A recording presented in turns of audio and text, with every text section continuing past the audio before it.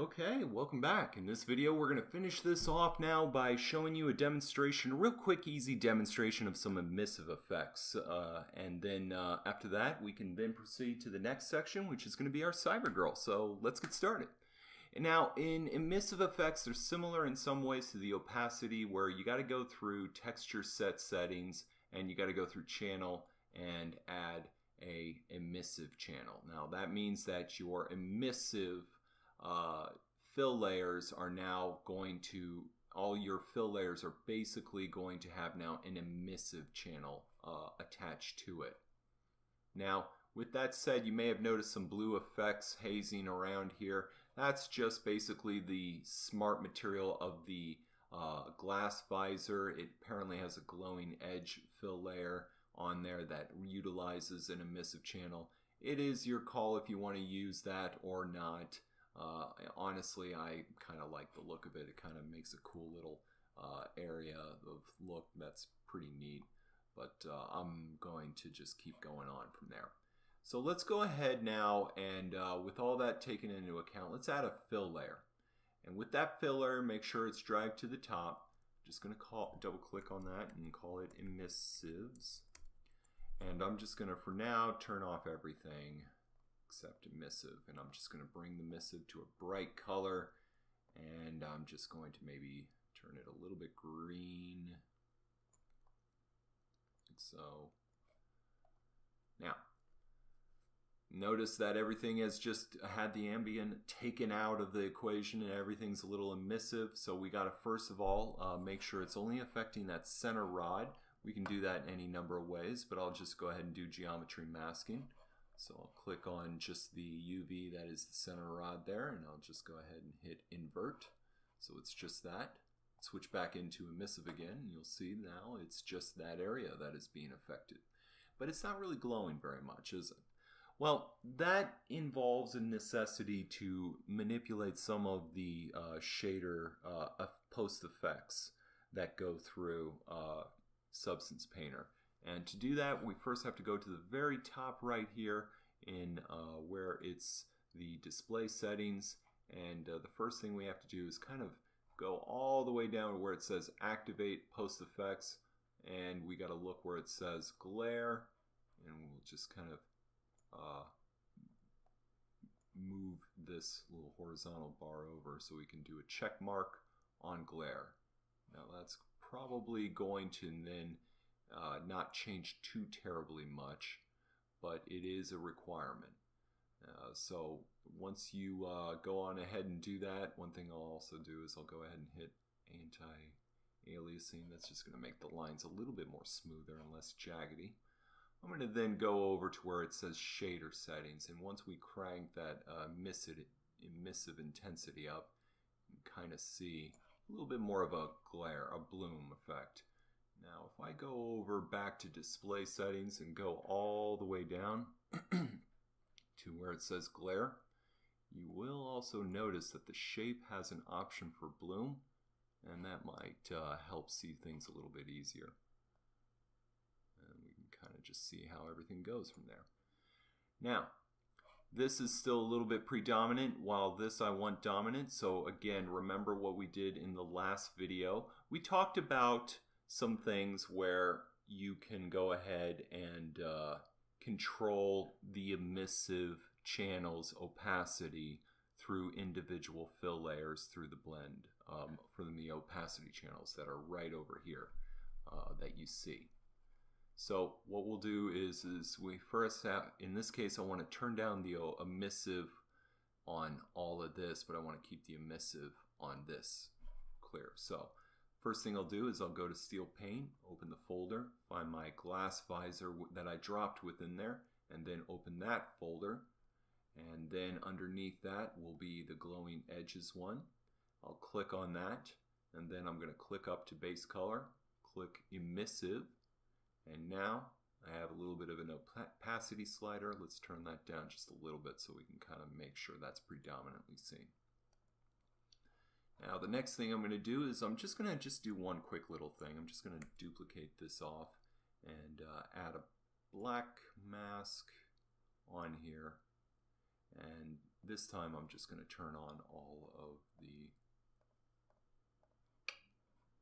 all of the geometry masks because again I just want to affect uh, certain areas of the geometry through the black mask.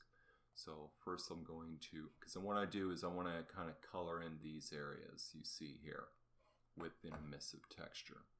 So I clicked on the mass of the emissive copy 1. I'm going to click on polygon fill. I'm going to choose uh, the polygon fill option and then I'm, what I'm going to do is I'm just going to kind of go through I can do it also on here if I wanted to but I'll just do it here it's just easier like so and what's nice is because this is a separate layer from the rod I can control the emissive intensity a little bit easier probably will make things go a little bit off. Oops.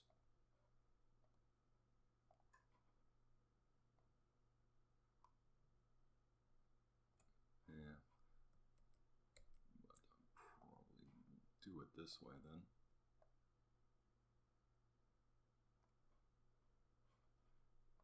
And we have a little bit of a issue with that. So the nice thing about this is, is now that we have that, we can also change the color of any of these things, like so. Computer is also glitching on uh, some of this and turning off. If this happens to you, this is probably a Substance Painter glitch. Because every time I make a change, you'll see suddenly it just switches off. That's a glitch. You know that's a glitch. Hopefully you don't have to do that, deal with that. So now that we have uh, that taken care of, let's just go ahead and uh, just, you know, now at this point, I can easily say that uh, we're done with uh, establishing the goal for this video of showing uh, some of the emissive effects. We've accomplished what we wanted to do. This was the main purpose of this video was mainly just to show the emissive, how to activate the emissive channel and how to create some glow effects. Uh, I'm going to be doing some extra credit work towards the second half of this. This is not mandatory for you to do, but what I'm going to do is add some smart masks on over the emissive channel to cover up certain sections of the emissive to kind of give it sort of like a radioactive look so that layers below which are darkened can actually radiate through just to kind of crackle. So I think what I'm going to do is take like a smart mask of sand and drag and drop that pretty much right on top of the top fill layer that has my radioactive glow. And if you click on that mask, you can kind of notice underneath there's a mask editor. That's sort of our generator that has all the parameters. And you know, you, you can just kind of go through and just kind of go through everything. Just kind of get yourself educated through it. Just click on random buttons like I'm doing right now and just seeing what it does so you can kind of learn how all this uh, pertains. Now again, it's not mandatory to do any of this, but I'm just kind of doing that right now. Uh, so um, I'm probably going to start with ambient occlusion as one of my main uh, ways to kind of get that kind of radioactive rod so that it covers up patches of the emissive fill layer so that darker uh, darker fill layers below it start uh, radiating through. And uh, I may even just go through my dis eh, my uh, graphics set or shade shader settings to kind of add a little bit of a glow to it you know just to have some fun. And I can do more things like maybe I want to take that blue haze around the glass and maybe make that a little green. I can do that and have some fun there maybe make it a little bit more brighter in um, like for example the uh, window area. You know there's a whole bunch of things that you can do. So that's just sort of the way, uh, just giving you a little bit of a taste of how to do this. Now, again, we're coming up towards the end of the beginner section of this being concluded. We have one more video that is about exporting out the textures. And once we show you how to do that, we're going to move into the main course, which is going to be our Cyberpunk Girl. So we're going to kind of add on to what we've done there.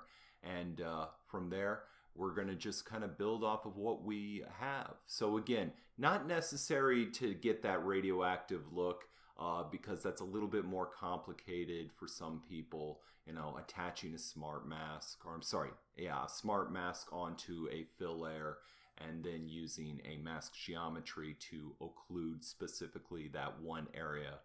Uh, but we'll get a little bit further deeper into that as we go through uh, the Cyberpunk Girl regarding generators. So with that said, we got one more video. It's about exporting out textures, then on to the Cyberpunk Girl. So stick around and stay tuned.